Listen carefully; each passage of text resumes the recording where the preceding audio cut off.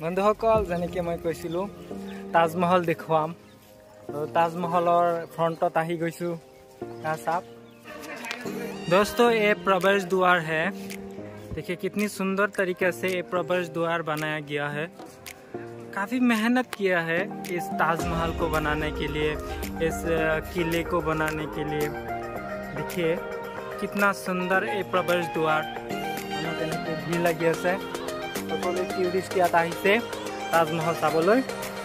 এতিয়া মই তাজমহলৰ ওচৰত গৈ আছোঁ।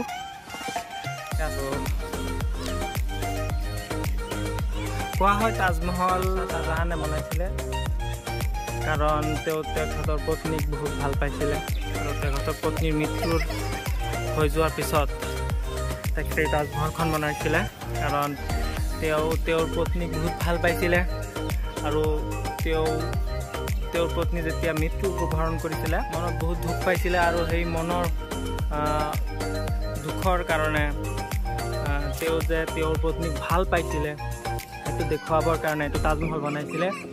নিশ্চয় আপোনালোকে চাব পাৰিব আৰু এইটো তাজমহল চাই আপোনালোকে গম পাব যে তেওঁ তেওঁৰ পত্নী কেনেধৰণৰ ভাল পাইছিলে কিমান হাই লেভেলৰ ভাল পোৱা আছিলে। এইটো এটা এইটো এটা ওখ জেগা বনাই দিছে য'ৰ পৰা সম্পূৰ্ণ ভিউ ল'ব পাৰোঁ তাজমহলৰ। চাওক নীলা নীলা পানী দিয়া আছে। সেইটো আৰু অলপ ওচৰত চাব পাৰি তাজমহল। ইমান ওচৰৰ পৰা তাজমহলটো চাম কেতিয়াও ভবা নাছিলোঁ। চাওক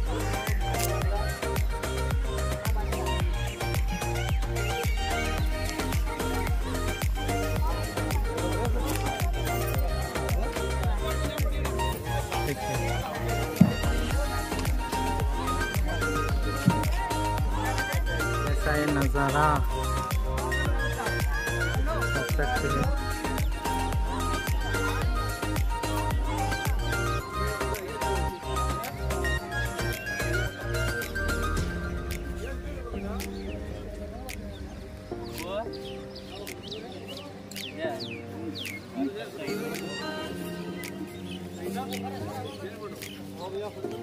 हमारे कुछ दोस्त मिल गए हैं इधर।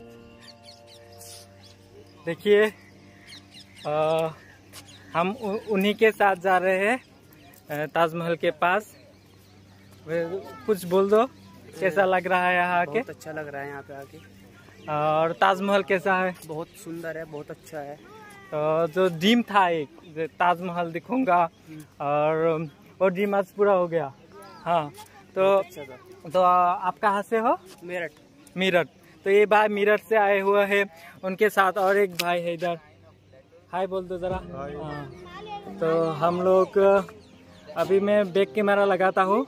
पास आ गए हैं। लोगों देखिए देखिए। जो एक एक्साइटमेंट था अंदर कि ताजमहल देखूँगा। सुबह उठ के नहा धो के आ गए और लगता है वो मनोकामना पूरी हो गई। और बहुत सारे टूरिस्ट यहाँ पर आए हुए हैं मैं आप लोगों को दिखाऊंगा एक नज़र देख सकते हैं ये भाई लोग जो अपना फोटो खिंचवा रहा है और ये हमारे सर है इकरामुल सर इधर खड़े हुए हैं और ये हमारे हलाल सर अपनी मोबाइल पे व्यस्त है देख सकते हैं साफ सुथरा है ये जगह आपको लगेगा यहाँ आप सो सकते हैं इतना এতিয়া আমি ভিতৰত সোমাম ভিতৰত অলপ ঘূৰি পেলাই সোমাব লাগিব वो फ्रंट साइड था और ये दूसरा साइड है दूसरा साइड दिखा रहा हूँ दूसरा साइड से ऐसा दिखता है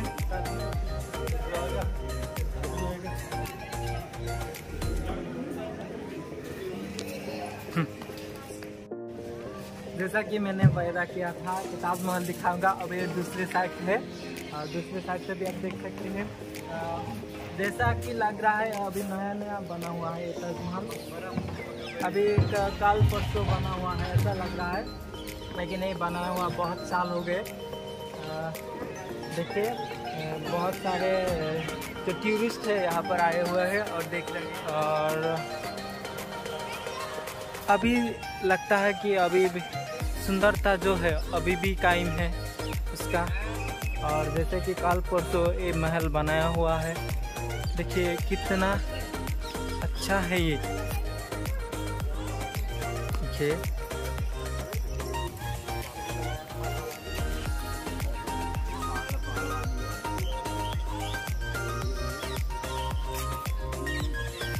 चारों तरफ़ से मैं आप लोग को दिखाना चाहता हूँ ताजमहल।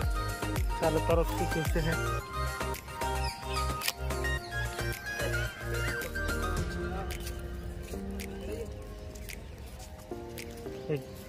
उसके ठीक पीछे देखिए क्या है।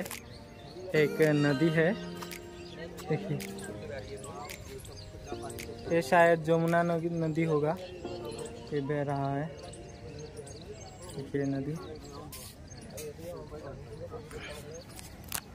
और इसी तरफ़ जो है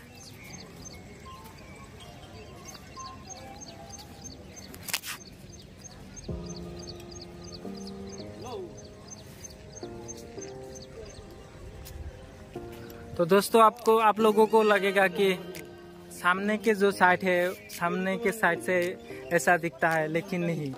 चारों तरफ़ से, चारों ओर से एक ही तरह दिखता है ताजमहल। मतलब चारों ओर से एक ही डिज़ाइन से बनाया हुआ है ताजमहल।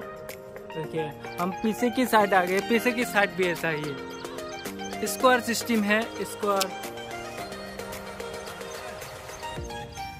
देखिए और ताजमहल जो है अब हम पीछे की साइड है और पीछे की साइड के लिए जो है, और नदी है ना, इसीलिए हम ऊपर नहीं दिखा सकते। और ऊपर जाने के लिए 200 का टिकट लेना पड़ता है। और ये देख है कुछ दरवाज़ा की तरफ़। देखिए अंदर क्या है, देखते हैं।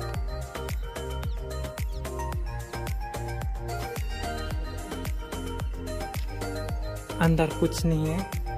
कुछ लकड़ी का टुकड़ा दिख रहा है। देखिए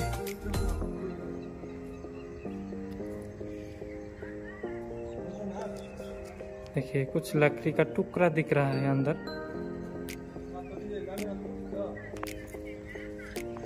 तो हम अभी आगे चले जाएँगे, दूसरी तरफ़ से जाएँगे।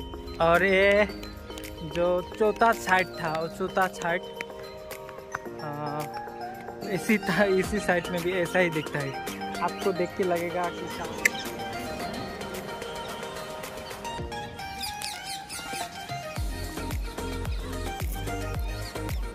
এতিয়া আমি তাজমহল চালোঁ চাই পেলাই অলপ বহিলোঁ অলপ জিৰণি লৈ আছোঁ আৰু আমাৰ লগত আছে ৰফিকুল ছাৰ এইফালে আছে হুছেদিল হুছেইন লগত আছে আটাবোৰ ছাৰ ইমান গৰম। এহ, বহুত গৰম লাগিছে গতিকে সকলোৱে অলপ জিৰণি লৈ আছে। আজি আমি ইয়াত তাজমহলত উপস্থিত আছোঁ আমি। আমাৰ এইবিলাক কেনেকুৱা ফিলিংছ কেনেকুৱা হৈছে বহুত ভাল লাগিছে। ফিলিম ঠিক আছে ফিলিং বহুত ভাল এক্সাইটেড লাগিছে। Feeling excited Excited। বহুত দিনৰ সপোনটো আজি বাস্তৱত ৰূপায়ণ কৰিলোঁ। সপোন আছিলে বহুত দিনৰ পৰা সপোন আছিলে কিন্তু আজিহে সেই সপোনটো ফুল दोस्तों, जो जो फ्रंट में जो लिखा हुआ है, लोग कहते हैं कि हाँ कुरान है जो कुरान की लिखावट है। कुरान से कुछ आयातें इधर लिखा हुआ है। तो ये आयातें कुछ समझ में नहीं आता। जो स्कॉलर होंगे, वो समझ पाएँगे जो आयातें लिखा हुआ है इधर। मैं आप लोगों को थोड़ा जूम करके बताता हूँ। ये देखिए, जो लिखावट है इधर।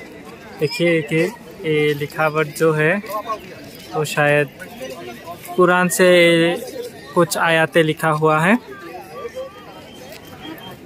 सेम इसी तरह की लिखावट ताजमहल की जो गेट था जो दीवारें थी, उसमें भी लिखा हुआ था। इससे पता चलता है जो मुगल जो एम्पर थे शाहजहाँ थे, औरंगज़ेब थे बहुत ही धार्मिक किस्म के लोग थे, अपने रिलीजन को काफ़ी मानते थे। इसी बात से ये पता चलता है।